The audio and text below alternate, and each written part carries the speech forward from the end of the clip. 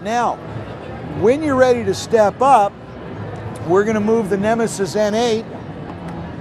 We have two, actually three series of Nemesis products. We have the Silver Series. As I said, that's the N8. That's the other Silver Series amps that are two channels. They're good for teachers and advanced students. But then we get to our true Nemesis line.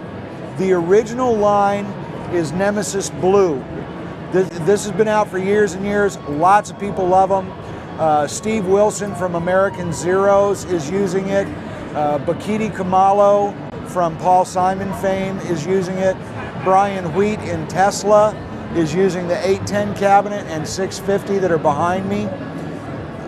This is a little bit more elegant sound than our David series. It's more subtle, it's great for R&B, jazz, um, country, blues, uh, even, even the rock players like it. But this year what we've done is we've come out with the new Blackface, and that's the RS series for rock series, okay? Now, we've done a few things differently.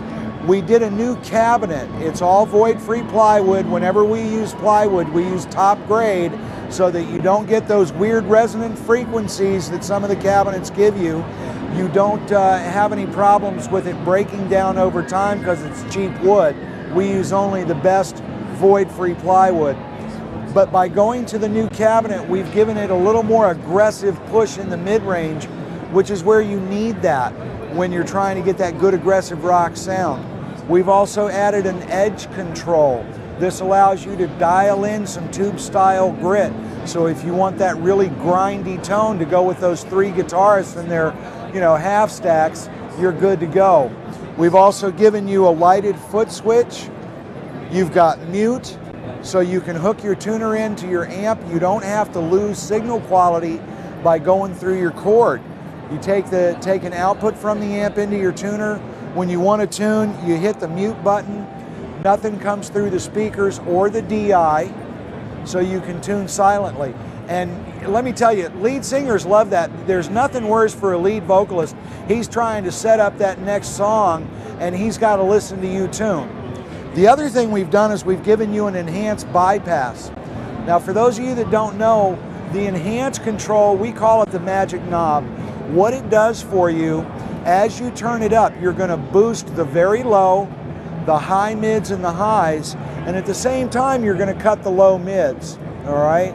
The more you turn it up, the more effect you get. Now, what you can do with that is you can set a tone without the enhance. Then turn the enhance on and you can set a second tone. And just by flipping the button back and forth, you can go between your tones, okay? Some of the other new features on the Blackface, a pre-post switch for the DI. You can select whether to send the DI to the board before your EQ or after your EQ. Of course, it's got a level control so you can send the proper amount of signal. It's got a ground lift, okay? Um, once you're ready to step up from the, the Nemesis, then we're going to go to our top line, the Goldface. That's the World Tour Series amplifiers and the David Series speakers. We're going to go ahead and cut for a minute, refocus the cameras, and we'll show you what the Goldface is all about.